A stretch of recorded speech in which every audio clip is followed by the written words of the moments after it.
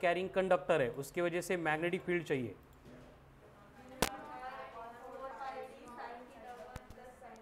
Sine theta two. अगर वो perpendicular by sector पे तो theta one becomes equal to मतलब सेम फॉर्मूला बनेगा mu naught I upon four pi D into two sine theta.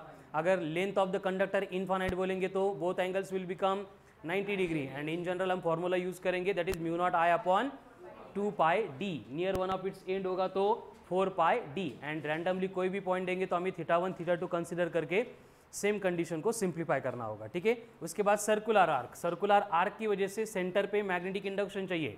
Mu naught I mu naught I upon four pi R into theta तो उस case में theta बनेगा angle subtended by given R जैसे coil अगर पूरी circular है तो theta बनेगा टू पाए तो फॉर्मूला बनेगा mu naught I upon two R semi circular है तो थीटा बनेगा पाए फॉर्मूला बनेगा mu naught I upon four R one quarter coil है तो थीटा बनेगा पाई बाई टू और फॉर्मूला बनेगा mu naught I upon eight R and third condition आती है जिसमें पॉइंट होगा along the axis of current carrying circular coil mu naught upon four pi into two pi R square into I divided by R square plus X square raise to three by two संपलो। Biot Savart's law उसके तीन application इतना ही part था।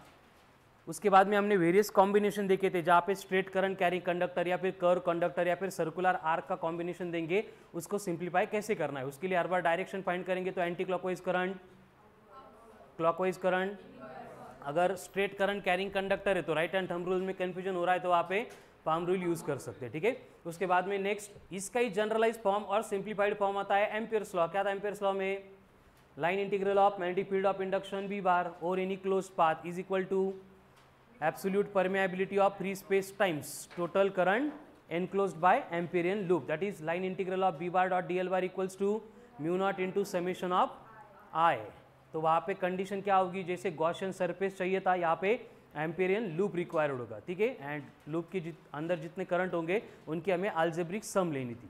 उसके बाद फिर से application बाकी एप्लीकेशन तो सेम है स्ट्रेट करंट कैरिंग कंडक्टर के नियर द सेंटर बोलेंगे तो mu naught I upon near one of its end बोलेंगे तो mu naught I upon and उस केस में सर्कुलर कॉइल बोलेंगे तो सेंटर में mu naught I upon again two R difference कहाँ पे था? सिलेंडर की केस में. तो सिलेंडर अगर सॉलिड है आउटसाइड पे mu naught I upon two pi R surface पे mu naught I upon two pi capital R inside point पे small R by capital R से मल्टीप्लाई करना है, जैसे इंटेंसिटी में करते थे ग्रेविटेशन में इलेक्ट्रो में. उसके बाद में सिलेंडर अगर हॉलो बोलेंगे तो क्या होगा? जो हॉलो पोर्शन है, वहाँ पे ज़ीरो जो आउटसाइड पॉइंट है, वहाँ पे mu naught I upon two pi R same रहेगा। लेकिन जो surface of the cylindrical wall है, जिसमें से करंट फ्लो हो रहा है, उसके अंदर अगर कोई पॉइंट दिया है तो उसके लिए mu naught I upon two pi R dash in bracket R dash का square minus A square upon R dash का square B square minus A square B का मतलब आउटर रेडियस ए का मतलब इनर रेडियस उसके बाद में infinitely long current carrying plane sheet mu naught K upon two K का मतलब current per unit length. This is all about Ampere's law तो बायोट सेवर्ट्स लॉ हो गया एम्पियर्स लॉ हो गया। इसके बाद में क्या बचते हैं? बस फोर्सेस अगर चार्ज बोलेंगे तो चार्ज के ऊपर एक्ट होने वाला force Q V V sine theta तो फोर्स कब ज़ीरो होगा? Theta zero one eighty then Q zero V zero V zero उसमें तीन कंडीशन एक तो चार्ज पार्टिकल एंटर कर सकता है पैरेलल और एंटी पैरेलल दोनों केस में कुछ भी नहीं होगा मैग्नेटिक फ़ील्ड की वजह से।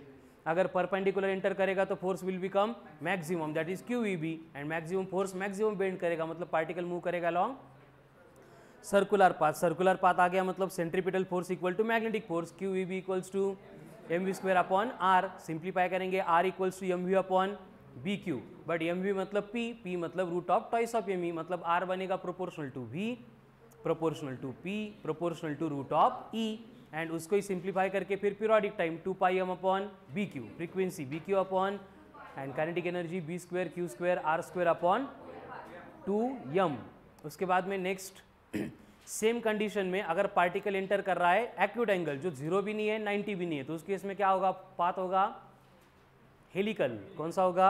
हेलिकल तो हेलिक्स में क्या होगा? पीच होगा. पीच मतलब हॉरिजेंटल प्लेन आएगा तो horizontal component of the velocity लेंगे, है ना? क्या होगा? V इंटू टी टी मतलब two pi M upon B Q and v मतलब v cos थीटा तो पिच बनेगा two pi M upon B Q into V cos theta and radius जब लेंगे तो वर्टिकल प्लेन आ रहा है तो r बनेगा M V sine theta upon B Q तो ये हो गया चार्ज पार्टिकल की मोशन रिलेटेड सब कुछ in case of external magnetic field फिर से वही इलेक्ट्रिक एंड मैग्नेटिक फ़ील्ड को कंपेयर करके, जैसे electric field can change magnitude as well as but magnetic field can only change the direction of velocity मतलब magnetic field में charge particle enter करेगा तो उसकी स्पीड, उसकी kinetic energy remains constant but velocity and linear momentum can change फिर अगर दोनों electric and magnetic field अगर प्रेजेंट है, उसमें अगर चार्ज एंटर कर रहा है तो क्या होगा?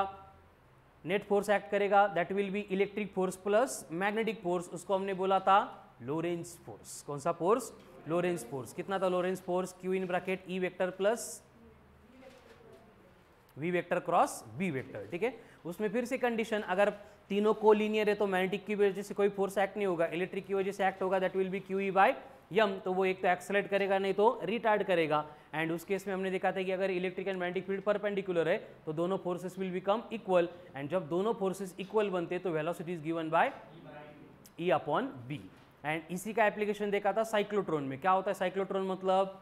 Cyclotron is a circular particle accelerator which utilizes magnetic field to bend the particle and electric field to accelerate it into high velocity so that it have to gain maximum amount of kinetic energy which is further used for artificial transmutation is the process in which heavy element is bombarded with energetic positively charged particles so as to convert it into another element and इस conversion में क्या होता है alpha beta gamma radiations मिलते हैं जिसमें से gamma का यूज़ होता है मेडिकल एप्लीकेशंस में फिर वर्किंग में देखा था दो इलेक्ट्रोमैग्नेट जिसके दो poles north pole and south pole उसके ट्रांसवर्स मतलब परपेंडिकुलर मैग्नेटिक फ़ील्ड में हम प्लेस करेंगे। क्या प्लेस करेंगे? Two semi circular metallic hollow boxes which is of D shape जिनको हम बोलेंगे dees connected to the AC potential of the order of 10 to the power 4 volt and frequency 10 to the power 7 hertz and in दोनों dees के between जब आप positively charge particle produce करेंगे place करेंगे, अब पॉजिटिव क्यों? क्योंकि न्यूट्रल के ऊपर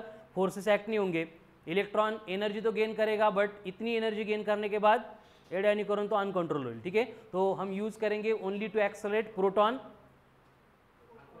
deuteron alpha particle इस तरह के पॉजिटिव चार्ज पार्टिकल तो उसमें क्या होगा फिर से? सेम कंडीशन सर्कुलर पाथ पे मूव कर रहा है मतलब centripetal force equals to magnetic force. फिर रेडियस आ गई पीरियोडिक टाइम आ गया काइनेटिक एनर्जी आ गई फ्रीक्वेंसी आ गई, सब फॉर्मूले सेम एक ही डिफरेंस था स्मॉल टी वाला। स्मॉल टी मतलब टाइम इंटरवल जिसमें हम डीज की पोलरिटी रिवर्स करते हैं। That is capital T by two मतलब pi M upon B Q cyclotron हो गया चार्ज पार्टिकल के ऊपर एक्ट होने वाले फोर्स हो गए। लास्ट पार्ट में आता है, वही अगर करंट कैरिंग कंडक्टर है तो कितना फोर्स एक्ट होगा? और उसके लिए एक्सप्रेशन था आई एल बी उसमें भी कंडीशन अगर थीटा ज़ीरो है तो एंड थीटा वन एटी है तो हो गया, ठीक है? उसके बाद में हमने देखा था कि वही अगर करंट लूप है एंड उसको अगर एक्सटर्नल मैग्नेटिक फ़ील्ड में प्लेस करेंगे तो क्या होता है? दो साइड जो पैरल एंटी पैरल उनके ऊपर एक्ट होने वाले फोर्स ज़ीरो बनते हैं, लेकिन रिमेनिंग टू साइड के ऊपर एक्ट होने वाले forces equal in magnitude but opposite in direction होते हैं so they will form couple couple मतलब torque which is given by magnitude of any one force into perpendicular distance between them so tau बनेगा I L B into small B but L into B होता है A तो formula बनेगा I A into B but I into A represents very good dipole movement that is capital M तो tau बनेगा M B या फिर M B sine of theta तो ये था torque acting on current loop when placed in external magnetic field फिर से वही, इसको अगर रोटेट करना है तो वर्क डन कितना होगा?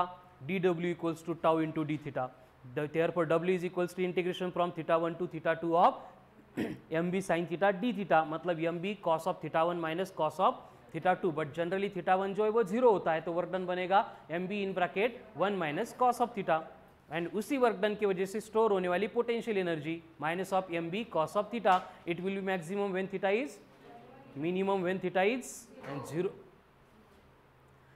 zero is when theta is 90 ठीक है?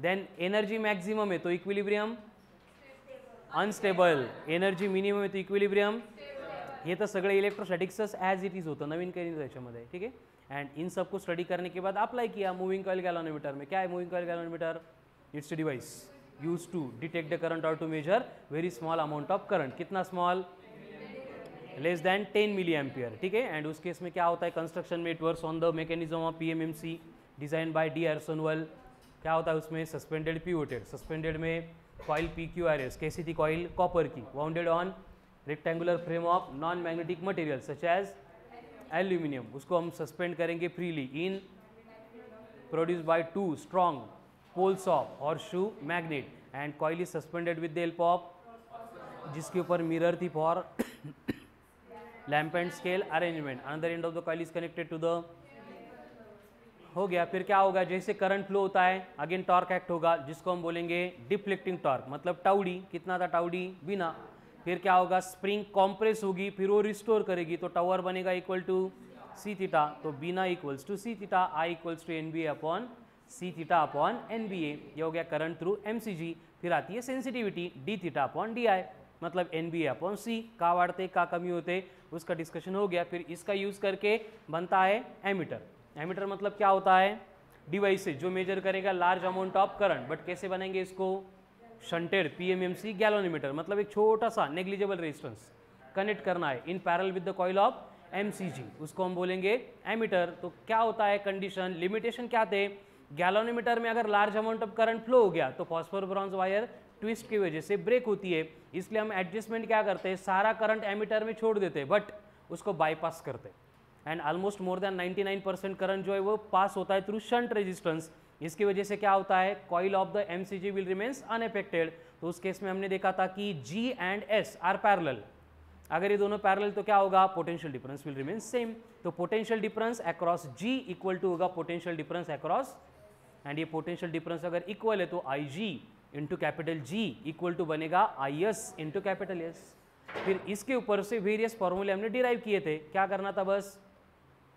I equal to I G plus I S इनकी रिप्लेसमेंट करनी थी। पहले आता है एस एस इक्वल टू था I G upon I minus I G into capital G उसके बाद में था आई जी आई जी बोलेंगे तो S upon S plus G into I and I S बोलेंगे तो G upon S plus G into I and इन सब में important relation I equal to N times of I G वाला, जिसके ऊपर से एन आता है S plus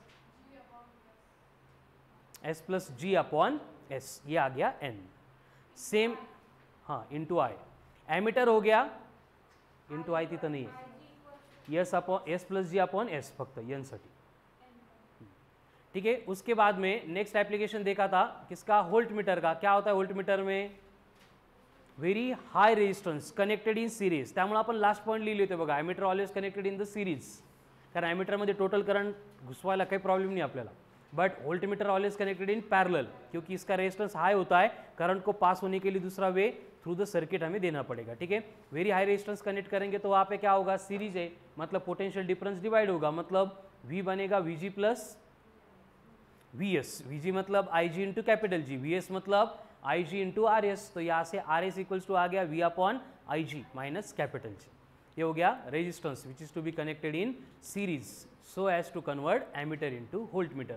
फिर ideal ammeter has zero resistance but practical ammeter has finite and very small resistance. उसी तरह से voltmeter ideal voltmeter has very high resistance नहीं, आइडियल बोला तो इनफाइनाइट रेजिस्टेंस बट प्रैक्टिकल बोलेंगे तो finite and very high resistance ये हो गया एमीटर, ये हो गया गैलोनोमीटर ठीक है? और क्या देखा था?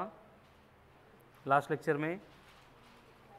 एटॉमिक मैग्नेटिज्म अब ये एटॉमिक मैग्नेटिज्म मतलब वो कनेक्ट करने के लिए था कि जैसे हमें मालूम है कि रिवॉल्विंग इलेक्ट्रॉन करंट इंड्यूस करता है, वैसे रिवॉल्विंग इलेक्ट्रॉन क्या करेगा? मैग्नेटिक मूवमेंट भी इंड्यूस करेगा। अब रिवॉल्विंग इलेक्ट्रॉन करंट इंड्यूस करता है कितना? E V upon two pi R circular coil है तो एरिया पायर स्क्वेयर लेंगे तो आई इंटू ए यानी एम इक्वल्स टू बनेगा E V R upon two and ये E V R upon two में एडजस्टमेंट करेंगे mass of electron mass of electron से मल्टीप्लाई डिवाइड करेंगे तो क्या बनेगा? E upon twice of me into L, where L is the angular momentum. तो m vector बना minus of E upon twice of M into L vector, जहाँ पे m by L को हमने बोला था गायरोमैग्नेटिक रेशियो कितना था? E upon twice of M मतलब 8.8 point eight into ten to the power plus ten coulomb पर के एंड इसी से रिलेटेड कुछ बातें देखी थी, जैसे कि हाइड्रोजन है फ़र्स्ट ऑर्बिट है, उसमें इलेक्ट्रॉन रिवॉल्व कर रहा है तो वेलोसिटी करंट इंड्यूस्ड होगा at the centre one milliampere magnetic induction होगा at the centre four pi tesla and इन सबको अप्लाई करके हम फाइंड करते हैं बोर्स मैग्नेटन क्या होता है Bohr's magneton magnetic movement induce by the electron revolving in first orbit of hydrogen atom कितनी होती है? Zero point nine two three into ten to the power minus twenty three ampere metre square पर नाही फक्त ampere into metre square so this is all about magnetic effect of electric current आज आवाज खूप कमी येतो आहे याचा अर्थ सॅटर्डे संडे प्रॉपर वर्क केलेलं नाही आहे मॅग्नेटिक इफेक्ट ऑफ करंट किती लोकांचं प्रिपेअर हे सगळं मी सांगितलं ते. आत्ता विचारा. Everything is clear raise your hands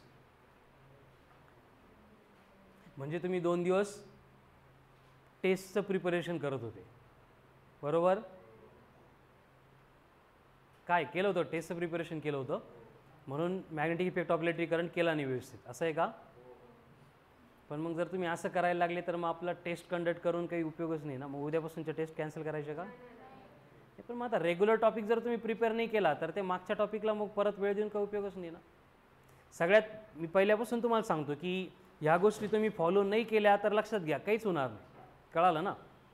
कुठल्या सगळ्यात इम्पॉर्टंट प्रायोरिटी आपली आजची काय असली पाहिजे जो आजचा टास्क येतो. कळालं ना? मग आपला राहिलेला सिलेबस रिव्हिजन टेस्टचं प्रिपरेशन हे मिळालेल्या टाईममध्ये करायचं असतं. बट ते तुम्ही काय होतं ना तुम्हाला जे वाटतं तुम्हाला तेच करायचं.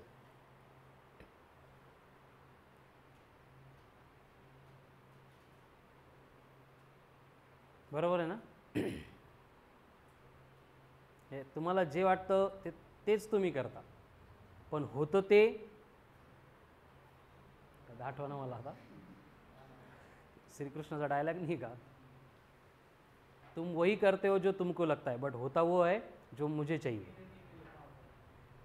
इसलिए तुम वो करो जो मुझे चाहिए। इसलिए होगा वो जो तुम्हें चाहिए। कळालं का? मग तुम्ही तुमचं रुटीन सोडत नाही तुम्ही तुमचे हॅबिट सोडत नाही. तुम्हाला काय होतं ना की भीती खूप आहे भयानक. मेन प्रॉब्लेम असा आहे. कॉन्फिडन्सच नाही आहे बरोबर आहे ना? त्यामुळे तुम्ही या गोष्टी न करता डायव्हर्ट होता डिस्टर्ब होता. तीन तीन चार चार ट्रक ट्रॅक्टर ट्रॅक करता आणि सगळं कन्फ्युजनही कन्फ्युजन होतं. कळालं ना? आणि ॲट द एंड मग या सगळ्या गोष्टीचा आउटपुटमध्ये काय फरक पडतो हे आता तुम्हाला टेस्टमध्ये कळालं असेल. बरेच जण असे आहेत की ज्यांनी हे जे फर्स्ट पार्टचे टॉपिक आहेत हे दोन दिवसात बघितले असतील दोन महिन्यानंतर.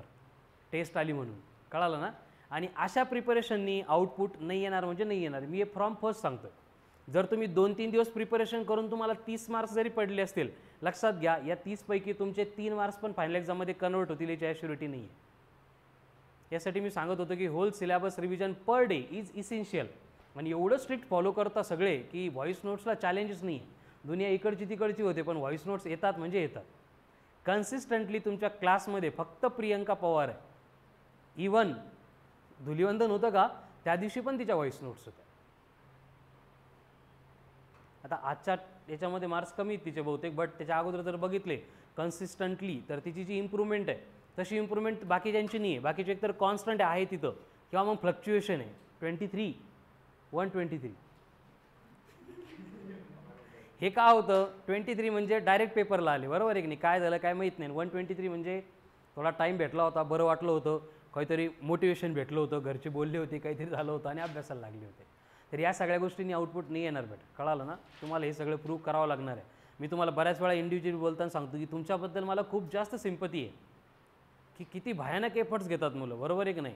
एका एका विषयाचे चार चार ट्रॅक करतात. ट्रॅकच ना? हां ट्रॅक करतात. बरोबर आहे की नाही? फिजिक्सचं सोडून बाकीचे. एवढे लेक्चर केल्यानंतर पण रोजचं टेस्ट असतात डी पी पी असतात वर्कशीट असतात. हे सगळं तुम्ही करता. बरोबर आहे की नाही? बट ही सगळी सिंपती देऊन तुमच्या लाईफमध्ये काही आउटपुट भेटणार आहे तुम्हाला? काही उपयोग आहे घ्यायचा काहीच नाही. कळालं ना? ही कॉम्पिटिशन भेटा इथे जिंकले तर सगळं काही तुमचं आहे. हरलं तर मी सांगितलं ना तुम्हाला तुमच्याबद्दल लोकांच्या ज्या कमेंट्स असतील त्या डिपेंड करतो की तुमचं सक्सेस काय असणार आहे. जे लोक तुम्हाला दोन वर्षात भेटले पण नाही ते पण तुमच्याबद्दल कमेंट देतात. बट ते डिपेंड करतं. तुमचं जर सक्सेसफुल जर चांगले मार्क्स पडले नंबर लागला तर ते मागं बोलताना पण म्हणतात नाही नाही. सदावर ते सरचे मुलं विषयच नव्हतं त्यांचा. सकाळी जे क्लासला निघाले की डायरेक्ट रात्री दहापर्यंत नॉनस्टॉप फक्त अभ्यास करायचे. जेवण नाही काही नाही बाकी कुठल्या गोष्टीसोबत घेणं देणं नाही. अभ्यास म्हणजे अभ्यास करायचे. भलेही हे टाईमपास करत असले तरी पण. कळालं ना? हे कशामुळं? कारण फायनल रिझल्ट आला म्हणून. आणि जर तुम्ही खरंच सिन्सिअरली खूप क्लास प्रिपरेशन एवढं भयानक केलं आहे बट जर तुमचा रिझल्ट नाही आला तर नालायक होते. मी बघायचो ना घरून निघायचे क्लासला आणि इकडंच फिरायचे. हे हे कमेंट ठरलेले आहेत लक्षात घ्या. हे कशावर डिपेंड करणार आहे? तुमच्या मार्क्सवर मग आपल्याबद्दल त्या कमेंट काय असल्या पाहिजे हे तुमच्या हातामध्ये? तुम्ही या गोष्टीचं रोज दहा वेळा नाही पन्नास वेळा नाही शंभर वेळा हे सगळं प्लॅनिंग केलं पाहिजे की आपलं कसं होणार आहे काय होणार आहे? रँडमली असं फक्त चालू फ्लो म्हणून चालू द्यायचं नाही आपल्याला. आली टेस्ट म्हणून दोन दिवसात लगेच रट्टा मारून घ्या सगळे रिवाईज करून घ्या. है ना अनिकेत? लगेच एक दिवसात ग्रॅव्हिटेशन संपला दुपारून रोटेशनल संपला लगेच वर्क पॉवर एनर्जी संपला. एक्झामच्या अगोदर आपल्याला हे प्रिपेअर करायची रिवाईज करायची गरजच नाही पडली पाहिजे. ही ज्या दिवशी होईल त्या दिवशी आपल्याला खरं आउटपुट यायला सुरुवात होईल. कळालं ना कारण फायनल एक्झामच्या अगोदर असं होईल का? सो थर्ड ऑफ जुलैला तुमची नीट आहे. असं डिक्लेअर झालं तर डेट कन्फर्म नाही आहे मी का अंदाज सांगते बसले दोन जुलैला अख्खा फिजिक्स अख्खा केमिस्ट्री अख्खा बायो होईल का? ते डोक्याला हात लावून बसावं लागेल बरोबर आहे की नाही? मी तर सांगतो शेवटचे जे चार दिवस असतात त्या दिवशी चार दिवसात तर बुक्स बघायचीच नाही. रिलॅक्स एकदम शांतपणे झोप काढायची जेवढी झोप काढता येईल तेवढी.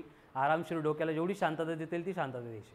कारण न्यूरॉन जे आहेत ना ते फ्रेश असले पाहिजे आपले.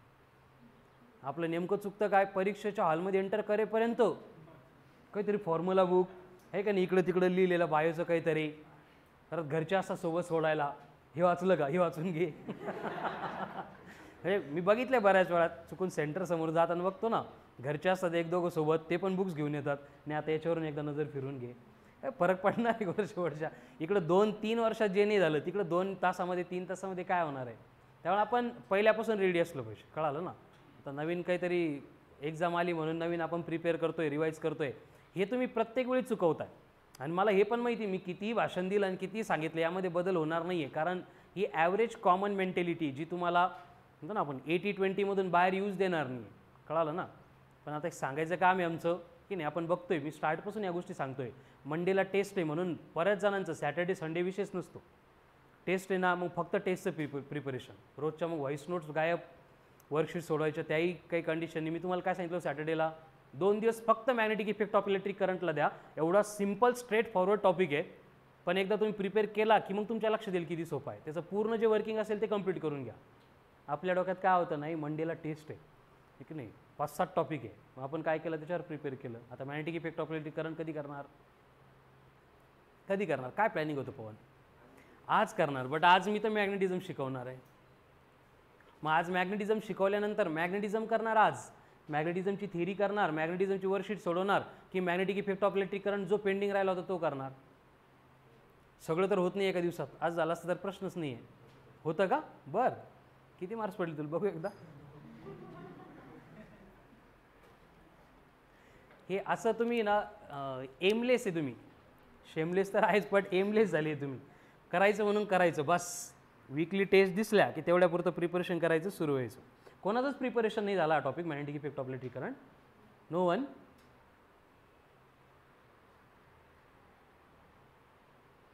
अरे? थोडाफार चुकल बट बऱ्यापैकी प्रिपेअर आहे थेरी थिरी ॲटलिस्ट वर्कशीट राहिल्या बाजूला असं कोण आहे? थेरी थोडीफार आहे थोडीफार नाही रे थोडीफार चुकू शकते. बट बाकी सगळी प्रिपेअर असं कोणते विचारतो मी? थोडीफार थेरीचं क- कुठं निवड ठेवतो होतो?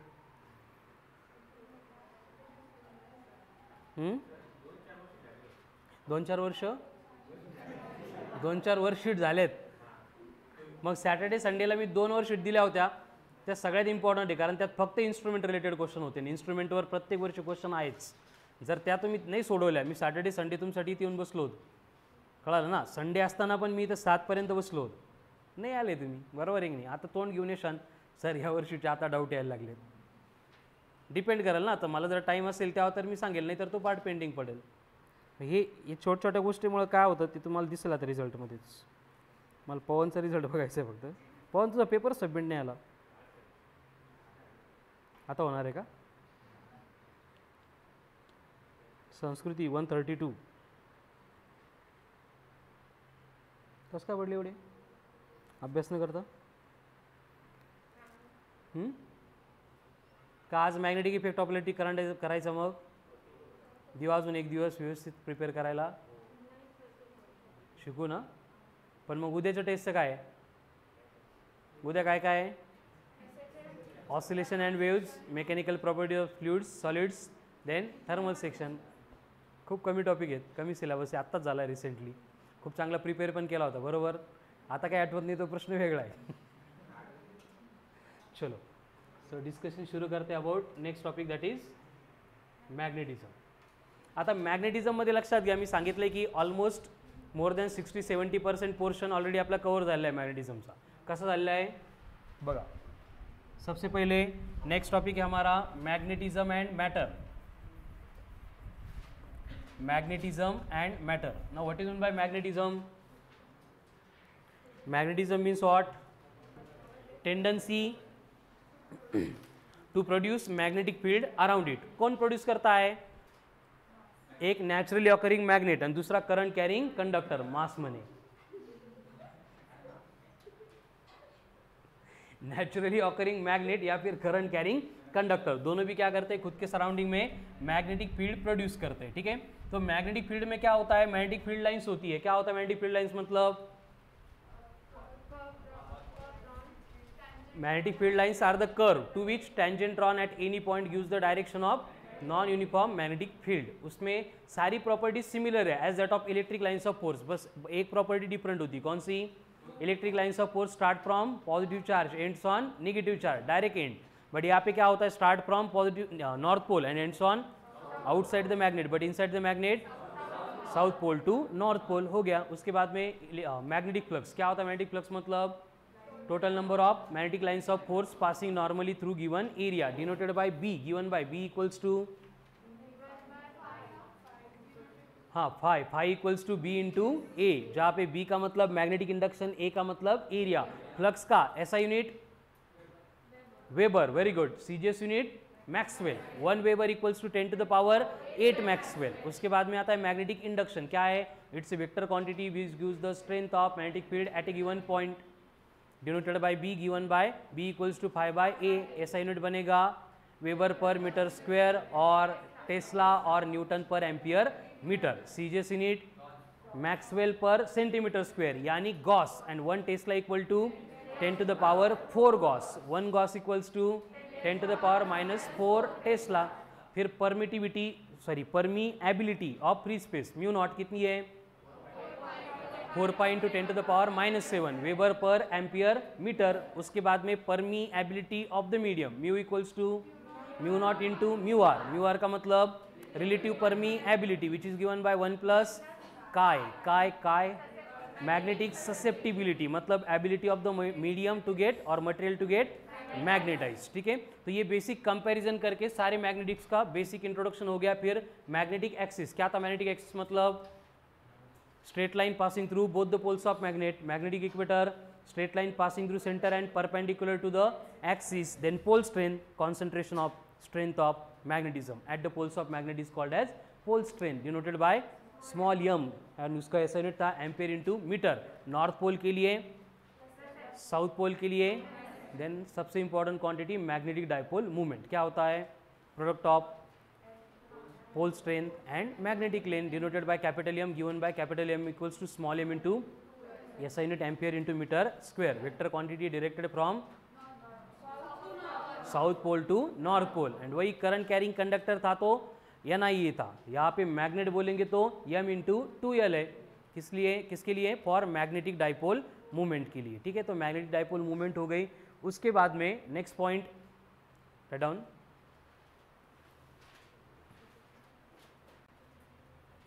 atomic magnetism लिहू नका. ॲटॉमिक मॅग्नेटिझम मतलब हाउ मैग्नेटिज्म इज़ ओरिजिनेटेड कल सांगितलं होतं आपण. काय बघितलं आपण? इलेक्ट्रॉन रिवॉल्व कर रहा है तो वो क्या करेगा? मैग्नेटिक मूवमेंट इंड्यूस करेगा. दो टाइप की.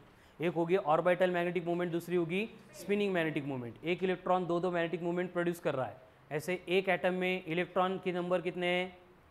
बहुत ज़्यादा. डिपेंड करतं गोल्ड असेल तर seventy six seventy seven seventy eight मंग सेवेंटी नाइन है ना? एंड वहाँ पे वन मिलीमीटर क्यूब में एटम के number more than ten raised twenty three तो इतने सारे लार्ज नंबर ऑफ़ इलेक्ट्रॉन इतनी large amount of magnetic movement induce कर रहे हैं, लेकिन फिर भी iron cobalt nickel gadolinium dysprosium and their alloys इनको छोड़ के बाकी कोई मैग्नेट को रिस्पॉन्ड ही नहीं करता। इसका रीज़न क्या था? एकदम simple magnetic dipole movement is a vector quantity directed in random direction that's why क्या होगा? Net magnetic movement will become zero किसमें? ये जो मैंने अभी एग्जांपल बोले, इनको छोड़ के बाकी सारे मटेरियल्स में, ठीक है? तो अब मैग्नेटिज्म का बचा क्या है? डाउन नेक्स्ट पॉइंट अभी सिंपल सिंपल एप्लीकेशन है। जैसे आपको बोलेंगे कि एक मैग्नेट था, जिसकी मैग्नेटिक लेंथ यल है। यहाँ पे नॉर्थ पोल है, यहाँ पे साउथ पोल है। तो मैग्नेटिक मूवमेंट बनेगी small m into two L अगर इस मैग्नेट को पकड़ के बेंड करेंगे इनटू सेमी सर्कल तो ये मैग्नेट क्या बनेगा? ऐसे सेमी सर्कुलर मैग्नेट बन जाएगा। फिर से यहाँ पे कौन है? नॉर्थ पोल यहाँ पे कौन है? साउथ पोल तो पोल के बिटवीन का जो डिस्टेंस है, ये कितना बन गया अभी? इक्वल टू डायमीटर मतलब टू आर बन गया। तो इसकी डाइपोल मूवमेंट क्या बनेगी? Capital M equals to small m into two R formula वही है ना? Pole strength into separation between two poles यहाँ पे सेपरेशन कितना था? ये कैपिटल यल था सॉरी हाँ। ये कितना है? यम इंटू कैपिटल यल यहाँ पे सेपरेशन कितना है? टू आर तो ये बन गया M into two R but अगर हमने एल इतनी लेंथ को सेमी सर्कुलर शेप में बेंड किया था तो यल बनेगा पाई आर यानी आर बनेगा यल बाय पाए इसको अगर पुट करेंगे तो कैपिटल यम इक्वल्स टू क्या बन रहा है? Small m into two into L upon pi यानी कि small m into L in bracket two by pi but small m into L क्या था? कैपिटल यम यानी कि यहाँ पे डाइपोल मूवमेंट जो है, वो बनेगी two capital M upon pi ये फाइनल ये इनिशियल ये सिंपल एडजस्टमेंट है, ठीक है ना? एप्लीकेशन सी इसमें नया कुछ नहीं कड़ा लगा काय केला आपण तो adjustment S no formula apply किया सेम बस क्या था? L replace by two R क्यों? क्योंकि उसको सेमी सर्कल में बेंड किया हमने write down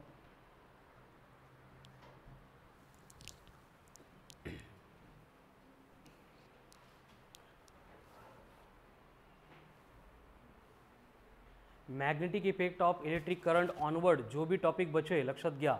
Magnetism, magnetic effect of electric current E M I A C circuit E M W उसके बाद में dual nature then atom molecules radioactivity then semiconductor उसके बाद ray optics and wave optics जे काही remaining topics आहेत। They are extremely simple straightforward एक्झाममध्ये जे questions त्याच्यामध्ये सगळ्यात डिफिकल्टी लेवल जर लो कमी कुठल्या टॉपिकची असेल, ती या कळालं ना? कारण इथपर्यंत येता येता बऱ्याच जणांनी होप सोडून दिलं असतं.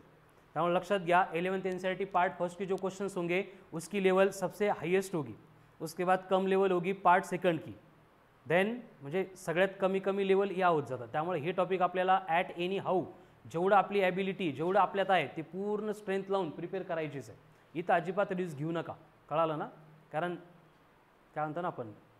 गळणारे मेंबर गळालेत ऑलरेडी ते करणारच नाही ते टॉपिक त्यामुळे याच्यावर येणारे क्वेश्चन्स खूप सिंपल आहेत. बट हे प्रिपेअर केले तर. कंपेअर करा तुम्ही वन डीला आणि magnetic effect of electric करंटला which one is better magnetic effect of electric current always better आहे. आणि वन डीवर जो क्वेश्चन येतात त्याच्या double weightage magnetic effect of electric करंटला आहे. बरोबर नाही? वन डी प्रिपेअर कराल काय? Position displacement distance velocity acceleration संपलं. बट ॲप्लिकेशन्स दीड महिना लागला होता आपल्याला. बरं एका लेक्चरमध्ये नाही. मॉर्निंगचे लेक्चर सोडून दुपारी तीन तीन तास प्रॅक्टिस सेशन घ्यायचो आपण. बरोबर एक नाही? तरी अजून मनात दागदुखच होते. बरोबर आहे वनडी म्हटल्यानंतर. हे तसं इकडं नाही आहे. आणि इकडं लक्षात घ्या ना कंपेअर करा. आपण फक्त कन्सेप्ट नवी घेतो. बाकी अप्लाय तेच करतोय. फोर्स करतोय व्हॅलॉसिटी करतोय ॲक्सलरेशन करतोय. नाही नवीन काहीच नाही अब यहाँ पे सिंपल फॉर्मूला था डायपोल मूवमेंट का. चेंज क्या हुआ? हे अगदी तुमच्या सेवन्थ एट जॉमेट्रीची कन्सेप्ट आहे. यल इतने लेंथ का रॉड अगर सेमी सर्कल में बेंड किया तो यल बनेगा पाई आर अगर पूरा सर्कल के शेप में बेंड करेंगे तो यल बनेगा टू पाई आर वो बस पुट किया है and in terms of M इसको रिप्रेजेंट किया है। हो गया? नेक्स्ट स्टार मार्क करके लिखो। Every magnet every magnet has two poles north pole and south pole हर बार मैग्नेट को दो पोल्स होंगे north pole and south pole. That is magnet with single pole और मोनोपोल डज नॉट एक्झिस्ट हे तुम्हाला सोडा, ज्यांनी दहावीनंतर शाळा सोडल्या त्यांना पण माहिती बरोबर आहे की नाही? नाइन टेन्थ में बेसिक बेसिक चीज़ है मतलब इतनी सिंपल है ठीक है मैग्नेट विथ मोनोपोल और single pole does not exist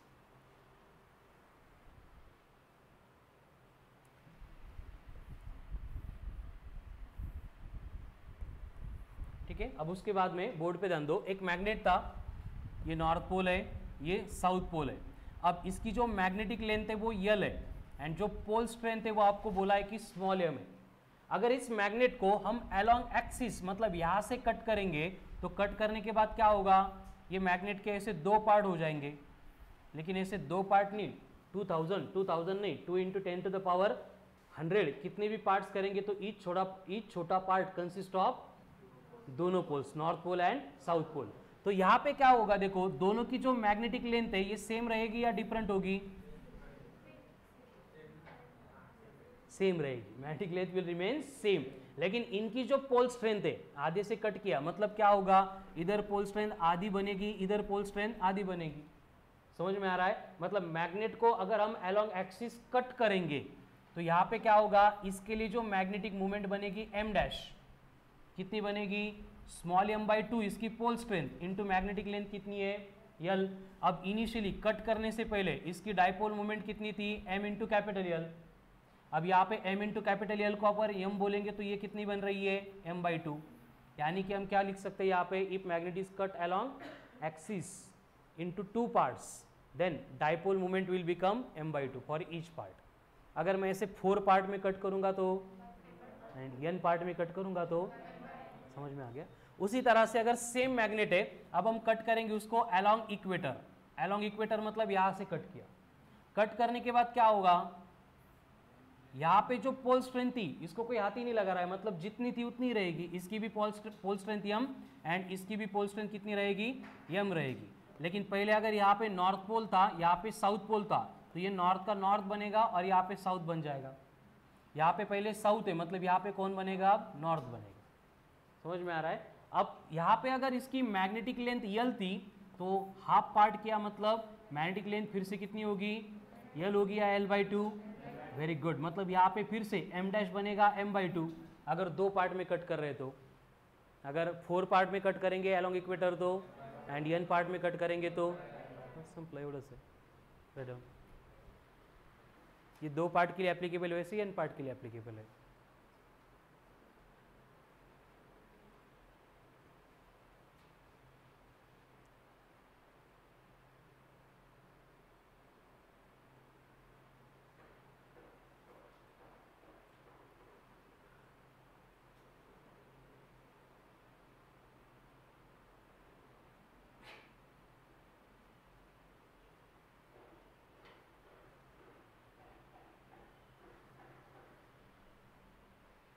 आता हे समजले तरी पण तुम्ही बघून का लिहिता? मला काही लॉजिकच कळत नाही. बघून लिहिण्यासारखं आहे का? असे हार्टचे तीन चार कंपार्टमेंट आहेत त्याच्यामध्ये. मग दोन कट करून बाजूला करतोय असे काही डायग्राम आहे का बरं? नेक्स्ट अब देखो हमने electric field intensity at a point find की थी ड्यू टू इलेक्ट्रिक डायपोल आठवतो का? पवन स्टैंड अप ऐसे इलेक्ट्रिक डाइपोल हुआ करता था। यहाँ पे पॉजिटिव चार्ज था प्लस क्यू यहाँ पे नेगेटिव चार्ज था। इन दोनों को कनेक्ट करने वाली लाइन थी एक्सिस और इसके सराउंडिंग में सराउंडिंग में हमें कोई भी पॉइंट दिया जाता था पी जो एंगल बनाता है थीटा तो पॉइंट पी पे जो इलेक्ट्रिक फ़ील्ड इंटेंसिटी थी ड्यू टू दिस डाइपोल कितनी थी?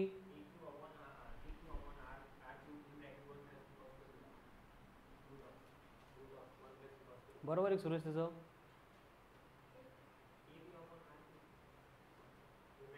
तोच नाही म्हणतो आता मी काय म्हणतो. तो हो म्हणेपर्यंत सांगत राहा. शुभम. श्रुती. साक्षी. प्रिया. लोखंडे. प्रिया. नाही. चैताली.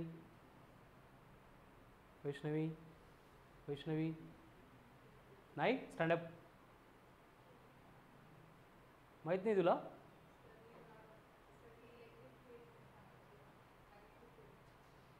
मॅग्नेटिक फील्ड सांग. मी शिकवलीच नाही अजून तरी पण सांग. माहिती तुला?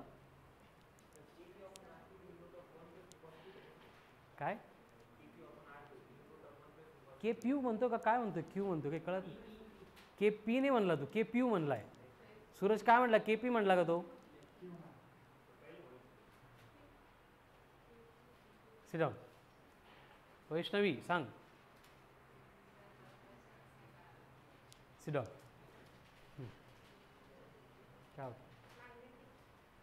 मॅग्नेटिक नाही electric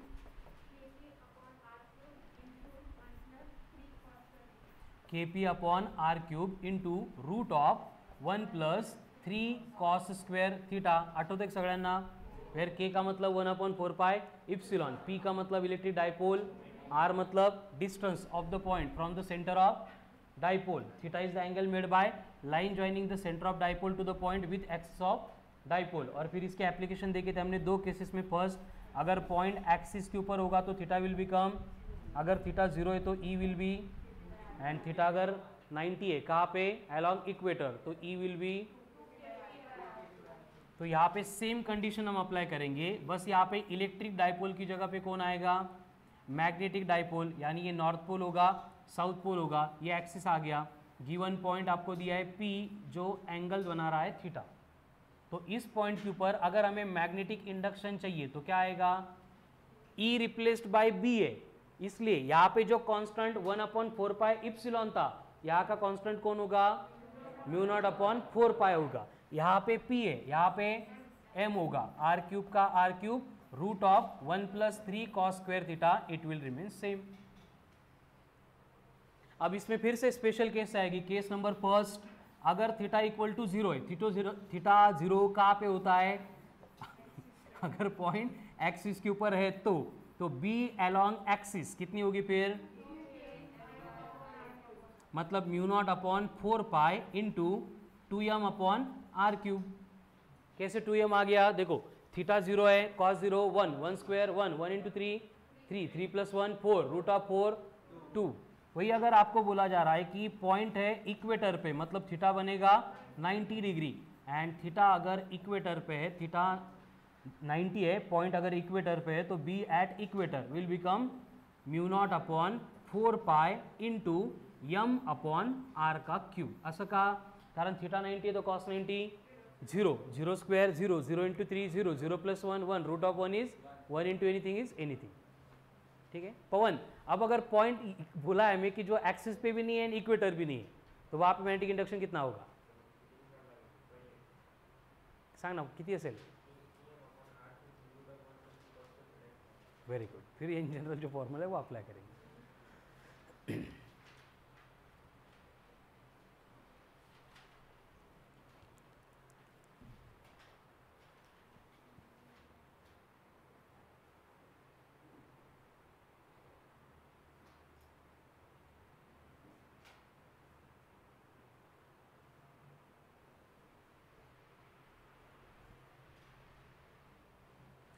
मतलब यहाँ पे अगर प्रिपेयर किया है तो बस रिप्लेस करना, ये प्रिपेयर करने की ज़रूरत नहीं है अलग से।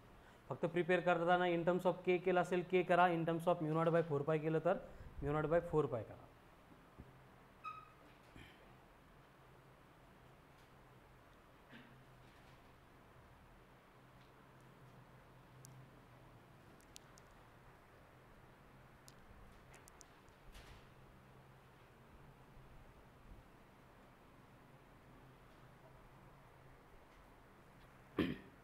अब इसके बाद में next point that is geomagnetism geomagnetism या फिर इसी को हम बोलते हैं टेरेस्ट्रियल मैग्नेटिज्म या फिर study of earth magnetic earth magnetic field down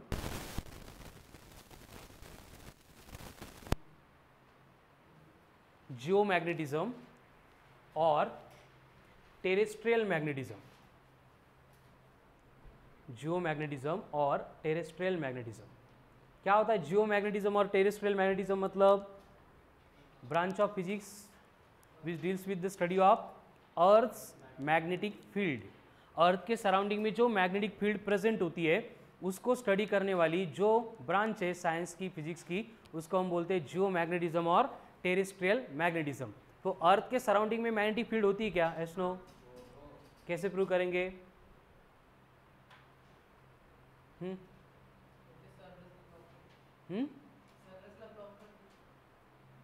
काय? व्हेरी गुड मॅग्नेटिक फील्ड पण ते आपल्याला कसं कळणार? ब्लॉक झाली म्हणून. कुठले इन्स्ट्रुमेंट फॉर एक्झाम्पल हायजीनचं स्टुडंट वाटतं तू चला नेक्स्ट कंपॉस निडल कंपॉस म्हणजे होका यंत्र. काय म्हणतात त्याला अजून? डायरेक्शन कळते डायरेक्शन आहे का नाही? जसं ते संस्कृती आणि आकांक्षाची साऊथ इकडं आहे नॉर्थ इकडं आहे. बरोबर आहे की नाही? असं कोणी जर उठलं सुटलं इकडं नॉर्थ आहे इकडं साऊथ आहे. नाही नाही इकडं नॉर्थ इकडे ईस्ट आहे. इकडे वेस्ट आहे आणि इकडे साऊथ आहे. चालेल का? मग आपण या डायरेक्शन ज्या डिसाईड केल्या आहेत बरोबर आहे की नाही? त्या आपण कशानुसार व्हेरीफाय करतो? कंपॉस कंपॉस असतं ना कंपॉस निडल काय असतं कंपॉस निडलमध्ये मॅग्नेटिक निडल असते फक्त. काय असतं? मॅग्नेटिक निडल म्हणजे निडल हाँ. उसको अगर फ्रीली सस्पेंड करेंगे तो होता क्या है मैग्नेटिक नीडल की केस में? जो नॉर्थ पोल होता है मैग्नेटिक नीडल का, उसको अर्थ के मैग्नेटिक फ़ील्ड का साउथ पोल अट्रैक्ट करता है. एंड जो मैग्नेटिक नीडल का साउथ पोल होता है, उसको अर्थ के मैग्नेटिक फ़ील्ड का नॉर्थ पोल अट्रैक्ट करता है, इसलिए इसको किसी भी पोजिशन में अगर छोड़ देंगे तो ये क्या करता है, खुद को नॉर्थ साउथ डायरेक्शन में ओरिएंट करता है। माहिती की नाही आहे सगळ्यांना? Shubhangi, good morning. ठीक है तो ये क्या होती है, डायरेक्टिव प्रॉपर्टी। मी अगोदर पण बोललो है ग्रेविटेशन के लिए प्योर टेस्ट अट्रैक्शन इलेक्ट्रो के लिए pure test repulsion and magnetism के लिए प्योर टेस्ट डायरेक्टिव प्रॉपर्टी मतलब मैग्नेट सस्पेंड करेंगे तो वो अगर नॉर्थ साउथ डायरेक्शन में ओरिएंट हो रहा है मतलब वो मैग्नेटिक फ़ील्ड की वजह से हो रहा है। समझ में आ रहा है? दो बॉडीज है, उनमें अट्रैक्शन हो रहा है और सिर्फ़ अट्रैक्शन ही हो रहा है। मतलब वहाँ पे क्या है? ग्रेविटेशन है।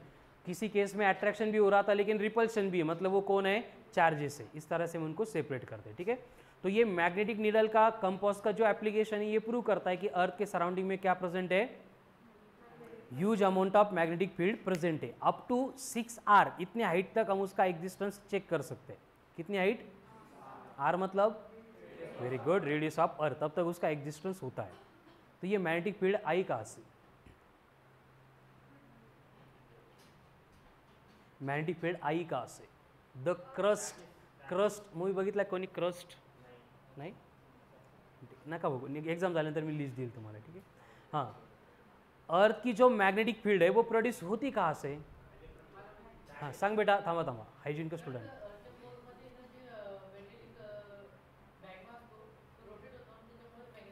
excellent answer very good हे लेटेस्ट आणि ॲक्सेप्टेड आन्सर आहे, ठीक आहे?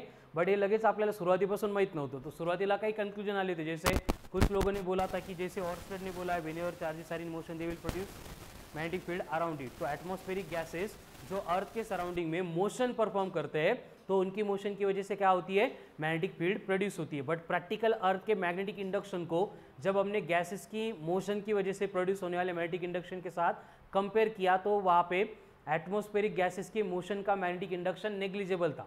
इसलिए हमने वो कंसेप्ट रिजेक्ट कर दी।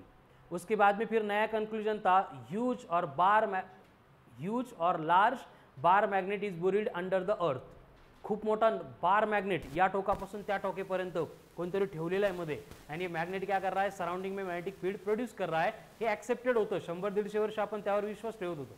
कळालं ना? बट जैसे जैसे क्रस्ट की स्टडी की हमने तो वहाँ पे एपी का ऐसे कोई रेगुलर पट्टा, है ना रेगुलर फॉर्मेट में कोई भी डिस्ट्रीब्यूशन प्रेजेंट नहीं था मतलब ये भी रिजेक्ट किया। तो अभी जो एक्सेप्टेड थ्योरी है अर्थ के मैग्नेटिक फ़ील्ड की, वो एक्सप्लेन करती है कि अर्थ के क्रस्ट का टेम्परेचर नियर अबाउट सन के टेम्परेचर इतना होता है मतलब in the range of six thousand kelvin तो इतने हाई टेम्परेचर पे जो भी मेटल्स है they are present in molten state and ये मोल्टन मेटल्स अर्थ के रोटेशन की वजह से क्या हो रहा है? घूम रहे रोटेट हो रहे. एंड इनके रोटेशन से क्या होता है? चार्जेस मोशन में सेट होते हैं. एंड इतने लार्ज अमाउंट ऑफ़ चार्जेस अगर मोशन परफॉर्म करेंगे तो वो क्या करेंगे? मैग्नेटिक फ़ील्ड प्रोड्यूस करेंगे अर्थ के सरफेस के ऊपर. खड़ा लो. तो ये रीजन है जियो मैग्नेटिज्म का. तो जो द क्रस्ट मूवी मैंने बोला, उसमें यही कन्सेप्ट शो की आहे सुरुवातीला पिक्चरचं काय होतं सगळे पक्षी बर्ड्स बिल्डिंगवर धडकतात, धडकून, मरण, मरून पडतात ठीक है? ऐसे क्यों? बर्ड्स को जो डायरेक्शन मिलती है वो मैग्नेटिक लाइन्स ऑफ फोर्स के अर्थ के मैग्नेटिक फील्ड के अकॉर्डिंग मूव करते हैं। माहिती की नाही? बर्ड मूव करतात। बरोबर आहे की नाही? जसे कोणते येतात ते पैठणमध्ये सायबेरियन येतात का? कुठले तरी पैठणच्या धरणात येतात ना पक्षी. युरोपवरून सिक्स थाउजंड किलोमीटरचा प्रवास करून दरवर्षी. राजस्थानमधून येता का? नाही नाही तो पैठणचा त्याला माहिती आहे. Six thousand kilometre distance travel करून ते एव्हरी इयर इकडे येतात. बरोबर आहे की नाही? पैठणला. डॅमच्या तिथं. बऱ्याच ठिकाणी येतात महाराष्ट्रामध्ये. आणि परत जातात. एव्हरी इयर न चुकता. कोरोना होता लॉकडाउन होता तरी पण आले होते. ठीक है तो उनको ये जो डायरेक्शन है वो समझ में कैसे आती है तो मैग्नेटिक लाइन्स ऑफ फोर्स के अकॉर्डिंग वो डायरेक्शन मतलब उनके ऊपर डिपेंड करता है. तो वहाँ पे क्या होता है? मैग्नेटिक मतलब जो बर्ड्स होते पूरे बिल्डिंग्सवर टक्कर घेऊन सगळे मरायला लागतात. जगातले जेवढे पक्षी कुठे गेले काय काय? डोळ्यांनी फक्त ते बघू शकतात. समोर ऑब्ज ऑब्स्टॅकल आला, नाही आला. बट त्यांचं जर मॅग्नेटिक फ़ील्ड लाईनचं सेन्स सांगतोय, तर ते त्याच डायरेक्शननी जाणार. डायरेक्ट काय? हो असते मूवीमध्ये दाखवले प्रॅक्टिकली नाही झाले ते, ठीक आहे मूवीमध्ये दाखवले मग बर्ड्स ऐसे पागल जैसे क्यों कर रहे हैं इसके ऊपर वो थिंक करते. हैं एंड फिर उनको समझ में आता है कि कंपास काम नहीं कर रहा है. मग ते रिझन शोधतात, मग त्यांना कळतं की अर्थची मॅग्नेटिक फील्डच मग त्यामुळे एक एक इफेक्ट काय काय होतं ते त्यांनी दाखवलेलं आहे. मग मॅग्नेटिक फील्ड व्हॅनिश झाली हे एक दोन दिवसामध्ये त्यांच्या लक्षात येतं की पूर्ण जे अर्थचं चक्कर आहे तोच सगळा डिस्टर्ब होणार आहे. क्योंकि ग्रॅव्हिटी मॅग्नेटिक फील्ड आणि इलेक्ट्रिक फील्ड असं पंचतत्वापासून सगळं काही बनलेलं आहे. माहिती आहे का नाही या गोष्टी? शक्तिमान बघत होते की नाही? तसे gravitational field electric field magnetic field इनके ऊपर पूरा नेचर का साइकिल डिपेंड करता है। उसमें से मैग्नेटिक फ़ील्ड चली गई मतलब आगे बहुत सारे प्रॉब्लम क्रिएट होते हैं, वो देखते हैं और उसका सोल्यूशन क्या है, फिर उसका रीज़न वो फाइंड करते हैं कि ऐसा का झालं फिर उनको समझ में आता है, जो जियो मैग्नेटिज्म नहीं, जियोलॉजी जियोलॉजी मालूम है ना? क्या से जियोलॉजी? अंडर द क्रस्ट की जो स्टडी करते हैं, वो जियोलॉजी। वो बोलते हैं कि अर्थ का क्रस्ट रोटेट होना ही बंद हो गया। फिर वो सोल्यूशन फाइंड करते हैं कि इसको फिर से शुरू करना पड़ेगा। फिर शुरू करने के लिए वो प्रोजेक्ट बनाते हैं कि जिसमें उनको ट्रैवल करना है from the surface to the earth का क्रस्ट एंड वहाँ पे जाके तीन एटम बॉम्ब का एक्सप्लोजन करना है क्रस्ट के सराउंडिंग में. 120 डिग्री 120 डिग्री 120 डिग्री फिर एक्सप्लोजन हो गया कि वो क्या करेंगे? टेंजेंशियल डायरेक्शन में उसको मोशन पर प्रोड्यूस करेंगे. एक बार मोशन में सेट हो गया बिकॉज़ ऑफ़ इनर्शिया फिर वो रोटेट हो जाएगा, ठीक आहे तर हे सगळं तिकडं सांगितलेलं आहे नंतर बघा पहिले इकडं लक्ष जिओ मॅग्नेटिझम और टेरेस्ट्रियल मॅग्नेटिझम कळालं? अब इससे रिलेटेड बेसिक कुछ नोमेनक्लेचर लिहायचं नाही, फक्त बघायचं. जैसे कि सपोज़ ये अर्थ है, क्या ये अर्थ अर्थ तो यहाँ पे एक स्ट्रेट लाइन आती है, जिसके अबाउट अर्थ रोटेट होती है। इसको बोला जाता है जोग्राफिक एक्सिस और जोग्राफिक एक्सिस पे यहाँ पे होता है एन सपिक्स जी मतलब जोग्राफिक नॉर्थ पोल तो यहाँ पे कौन होगा? जोग्राफिक साउथ पोल मतलब एस जी होगा। उसके बाद में यहाँ पे और एक स्ट्रेट लाइन आती है और यहाँ पे दो पोल्स होते हैं। तो इसको हम बोलेंगे मैग्नेटिक साउथ और यहाँ पे कौन होगा? उलट झालं का नॉर्थ साउथ साउथ नॉर्थ उलटच आहे असंच असतं जहाँ पे जोग्राफी का नॉर्थ है वहाँ पे मैग्नेट का साउथ है। जहाँ पे मैग्नेट का नॉर्थ है वहाँ पे जोग्राफिक का साउथ है। कड़ा ना? दैट्स वाई हमारी जो कंपोस्ट नीडल है, उसका नॉर्थ पोल इस डायरेक्शन में आ रहा है। अगर उधर भी नॉर्थ होता, ये नॉर्थ नॉर्थ रिपेल करते और ये उल्टा हो जाता। समझ लो ना? इसलिए जहाँ पे अर्थ का जोग्राफिक साउथ है, वहाँ पे मैग्नेट का एंड जहाँ पे मैग्नेट का नॉर्थ है, वहाँ पे अर्थ का जोग्राफिक साउथ है। ठीक है? तो दोनों पोल में से पास होने वाली जो स्ट्रेट लाइन है, उसको बोला जाता है मैग्नेटिक एक्सिस क्या ये? मैग्नेटिक एक्सिस उसके बाद में एक ह्यूज सर्कल ड्रॉ करेंगे हम around the earth in the plane which is perpendicular to the geographic axis ये बनेगा, क्या बनेगा? जोग्राफिक इक्वेटर इक्वेटोरियल प्लेन यहाँ पे इक्वेटर मतलब स्ट्रेट लाइन नहीं है बार मैग्नेट की। यहाँ पे क्या है? एक सर्कुलर प्लेन है on perpendicular to the geographic axis and वही अगर perpendicular to the magnetic axis लेंगे तो ये क्या बनेगा? Magnetic equator. क्लियर एंड इनको छोड़ के आते हैं meridian geographic meridian magnetic meridian क्या होता है? जोग्राफिक मेरिडियन मतलब एक वर्टिकल प्लेन जो गिवन पोजीशन से as well as geographic north and geographic south में से पास होता है।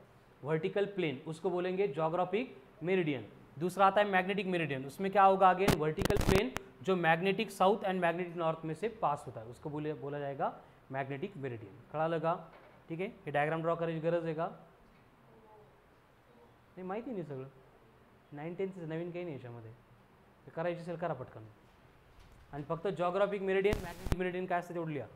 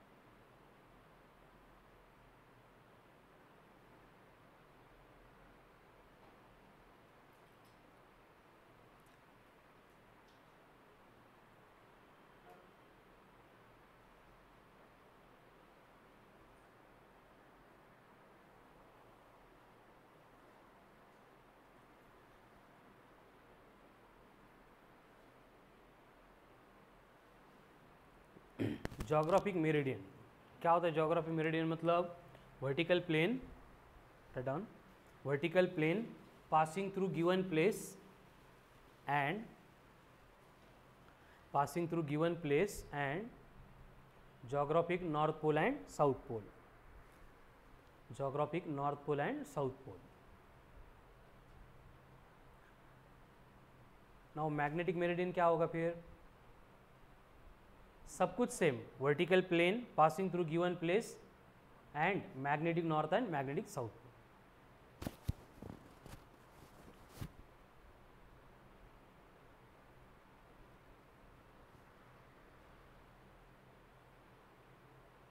चलो हो गया।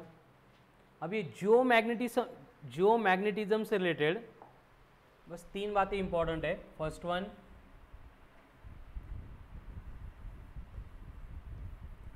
angle of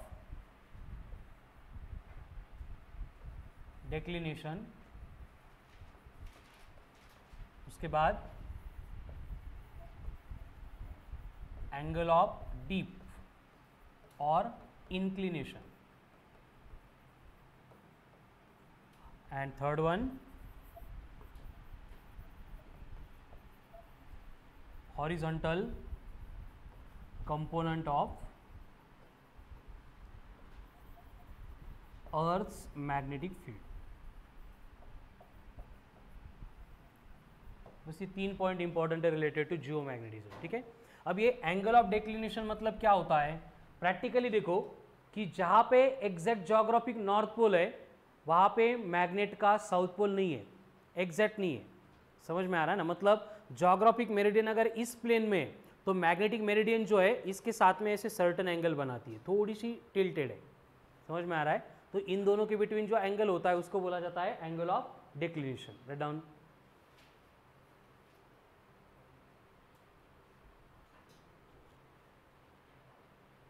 angle between angle between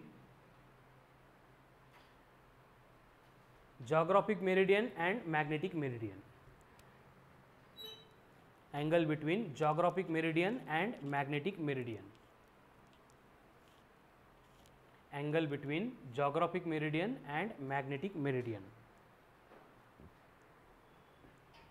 कड़ा ना एंगल ऑफ़ डिक्लिनेशन मतलब क्या होता है? क्या है? Geographic meridian and magnetic meridian अब देखो, ये जो एंगल है एट प्रेजेंट ये है 11.3 डिग्री कितना है?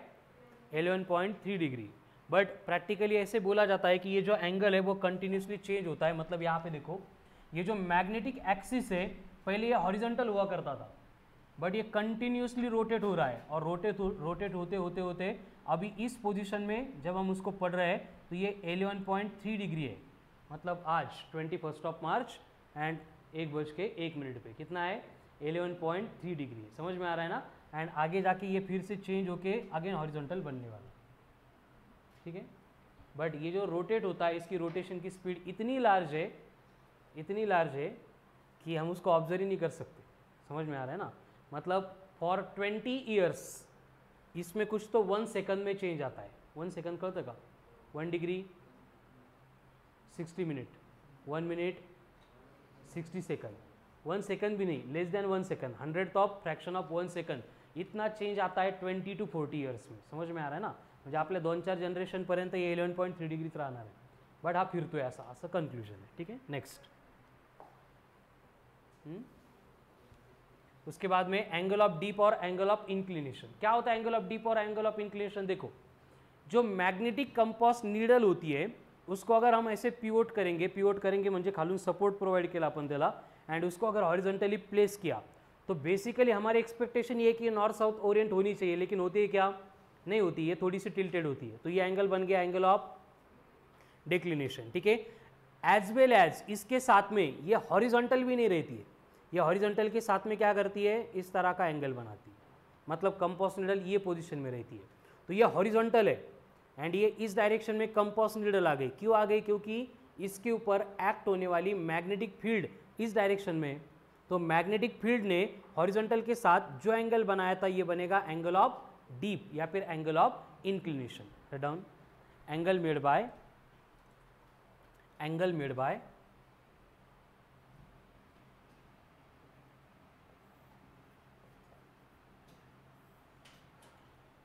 magnetic field of the earth.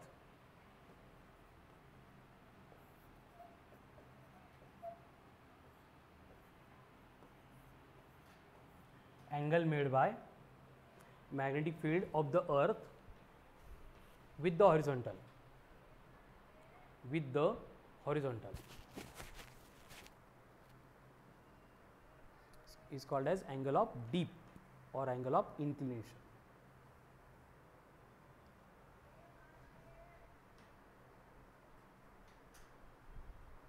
मतलब कंडीशन इस तरह से होती, देखो हॉरिजॉन्टल कंपोनेंट यहाँ पे बी एच बी एच मतलब हॉरिजॉन्टल कंपोनेंट अर्थ के मैग्नेटिक फ़ील्ड का। बी वी मतलब वर्टिकल कंपोनेंट किसका?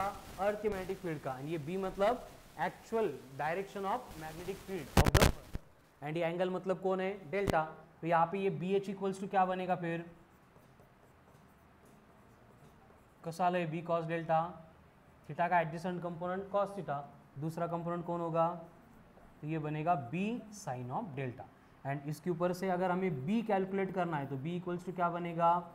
रूट ऑफ़ बी एच का स्क्वायर प्लस बी वी का स्क्वायर या फिर मुझे अगर बी एच चाहिए तो बी एच क्या बनेगा? Root of B square minus B V का स्क्वायर एंड अगर हमें एंगल ऑफ़ डीप कैलकुलेट करना है तो उसके लिए हम टेन डेल्टा का रिलेशन यूज़ कर सकते हैं. टेन डेल्टा इक्वल्स टू क्या बनेगा? B V upon B H ठीक है? तो ये हो गया इंट्रोडक्शन ऑफ़ जियो मैग्नेटिज्म अब हम आगे देखेंगे इससे रिलेटेड एप्लीकेशंस ठीक है? हमारी समाज। तो देखो फिर से आज